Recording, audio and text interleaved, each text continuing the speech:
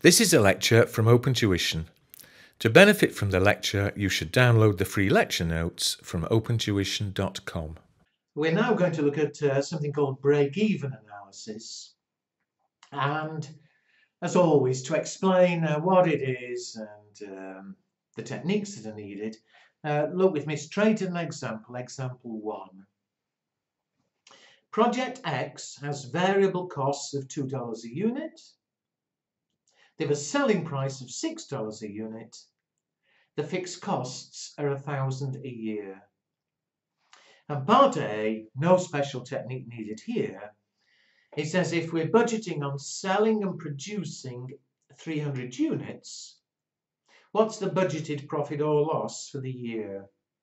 Now you can set this out several ways, but uh, I think the quickest way is to say, well, we're selling 300 units, each unit gives a contribution, and you should remember what I mean by that from earlier chapters. The contribution is the selling price of $6 a unit less the variable cost of $2. So there's a contribution of $4 a unit. Uh, and therefore, the total contribution will be 1200 now the contribution, remember, is the profit before any fixed costs or the revenue less the variable costs. So here the total contribution is 1200. To get the profit, subtract the fixed costs.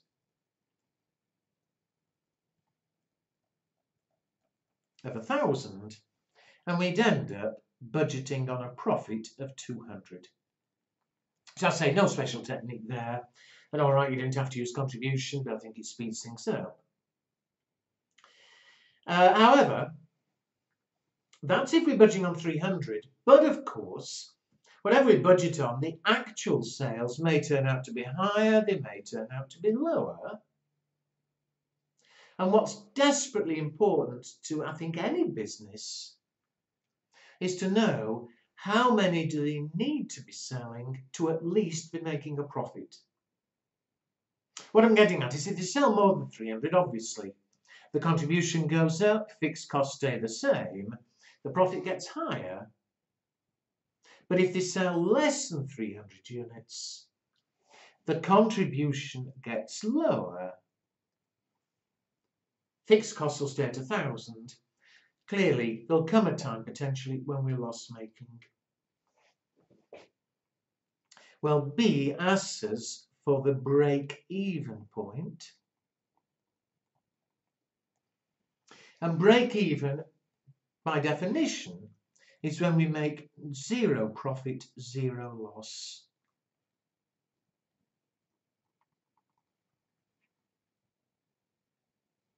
And so if we're wrong on our budget, and if it's not 300 units, but we end up selling less, how many do we need to sell to end up with no profit and no loss? Well, surely think about it. Whatever happens, the fixed costs are going to be a thousand. To end up with a profit of zero, the contribution will have to be a thousand as well. Well, we know the contribution per unit is $4.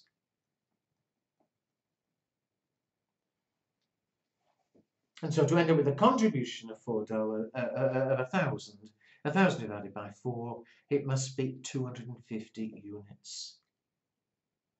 Now, okay, you can learn the rule, but see the logic. To end up with zero, total contribution must be equal to the fixed costs the units sold must be the total contribution divided by the contribution per unit. The break-even in units is equal to the fixed costs divided by the contribution per unit. And do learn that, but as always, see the logic. Just don't simply learn a rule. So again, in this particular one, the fixed costs are a thousand. The contribution per unit, the revenue six, cost two, contribution of four. it's 250 units. And again, what's so important, they're budgeting on 300. They hope it will be 300, but they accept budgets can be wrong. It may be more, maybe less. But as long as we sell more than 250 units, at least we'll make a profit. If we ever sell less than 250 units, then we'll be making a loss. Uh, C wants to know the break-even revenue.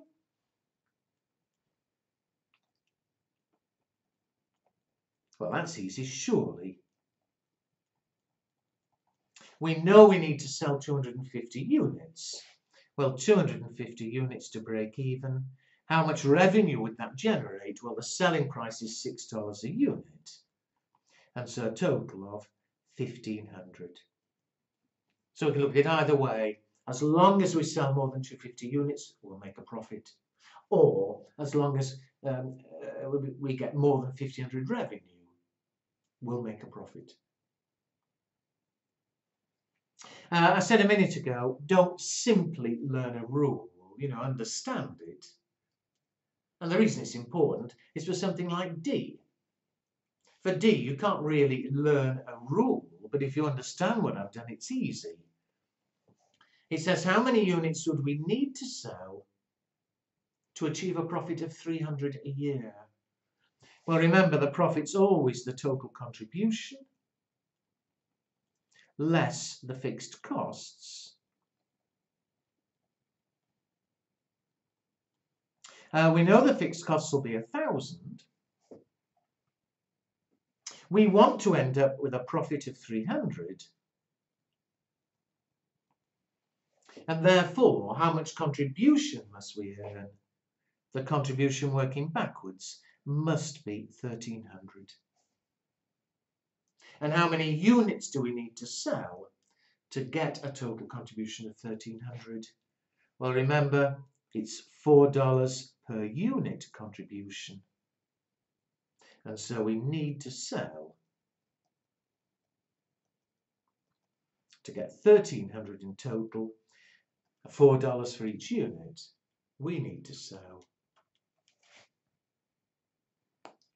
uh, 325 units. So it's not hard. Learn the break-even rule. Uh, but again, uh, understand where it comes from, and then a question like D, there should be no problem at all.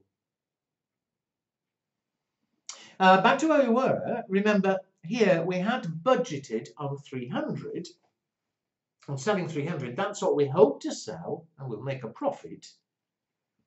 But we know that if the budget's wrong, we do need to sell at least 250 to be profitable.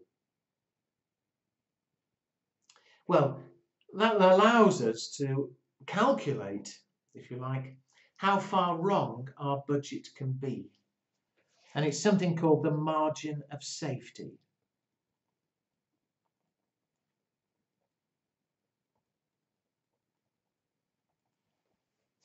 And as you'll see, it's, it's, how wrong we can afford our budget to be. You see, we've budgeted on selling 300. I keep saying that may be wrong, we may sell fewer, but provided it's more than the break-even 250, we'll still make a profit. So we can afford the budget to be wrong by 50 units before uh, we start making a loss. However, to leave it as just 50 units, it'd be a bit dangerous. You see, 50 units is quite a big error in our budget when we budgeted on 300. Had I been budgeting on 5,000, to be wrong by 50 units is a very tiny error. So we express it as a percentage of our budget of 300. And so the margin of safety, we can afford to be wrong by 50 units on a budget of 300. It's 16.67%.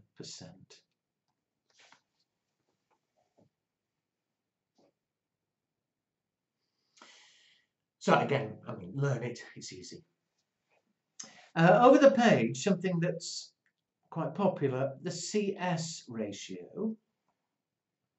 Uh, and what the CS stands for is contribution and sales. So as I've written there, it's the contribution divided by the sales.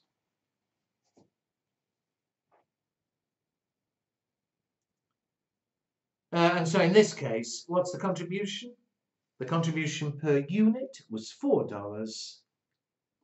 Uh, the selling price per unit was $6, or 2 over 3. Uh, by all means, write it as a, de a decimal. Oh dear.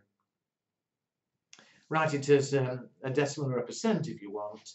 It's, um, what is it, point uh, 666666 or 66.666%.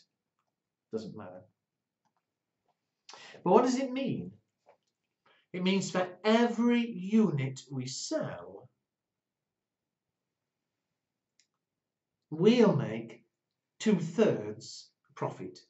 So for every three uh, contribution, I beg your pardon. So for every three dollars of revenue, we'll have two dollars of contribution. And it doesn't matter whether I sell one unit or a thousand units. For every three dollars revenue, we'll make $2 contribution. And a use we can uh, put that to, look at example 3. What revenue is needed to generate a target profit of 320? Well, think back to what we did earlier. We know always that the contribution less the fixed costs gives us the profit I want a profit of 320. The fixed costs are 1,000 and so the contribution is 1320. So we need a contribution of 1320. But I know the CS ratio is two thirds. So I know that contribution will always be two thirds of the revenue. So I can write down the revenue almost immediately. Uh, two thirds, remember, is equal to the contribution divided by the sales. Multiply both sides by the sales.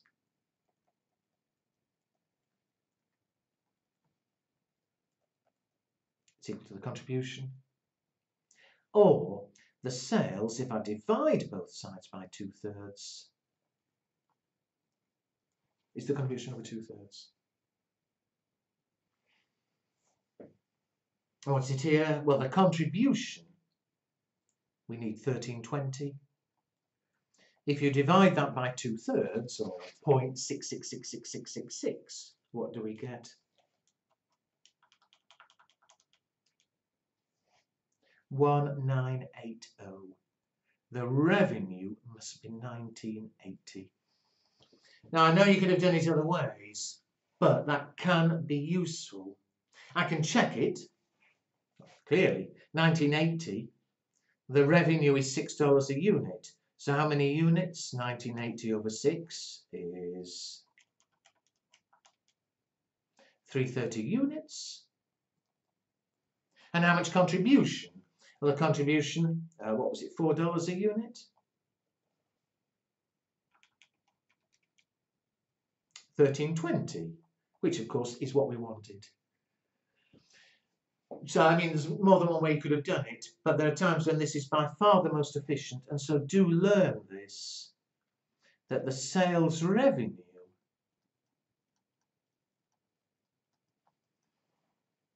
will always equal uh, the total contribution divided by the CS ratio.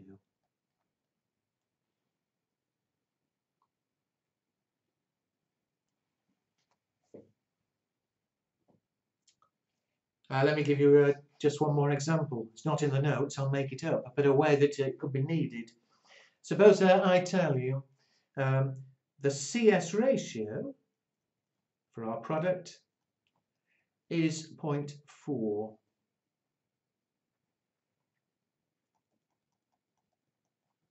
Fixed costs are 2,000. What revenue is needed to break even?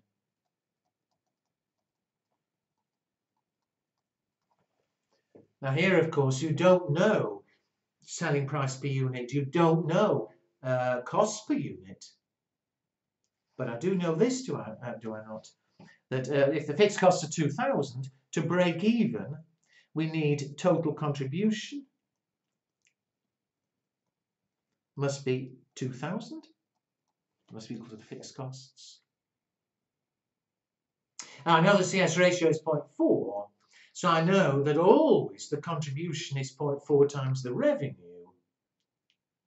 Well, since I know the contribution, we can write straight down the sales revenue contribution over the CS ratio 5,000. The break-even revenue uh, is 5,000.